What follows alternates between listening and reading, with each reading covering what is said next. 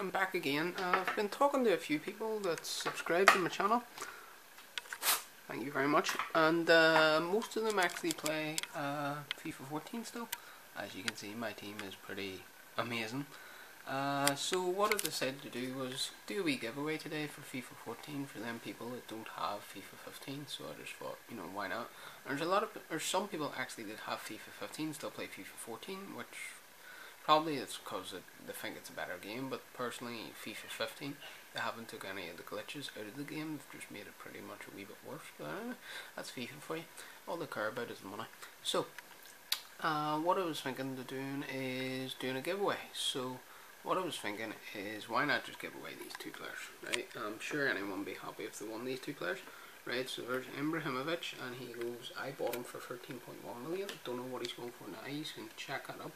And Suarez, it goes for 6.6 million, so there's, oh, there's about near 20 million worth in two players.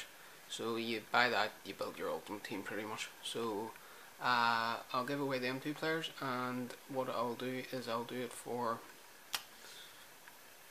hmm this is the million dollar question uh, I'll do it for between 1 and 200 and you have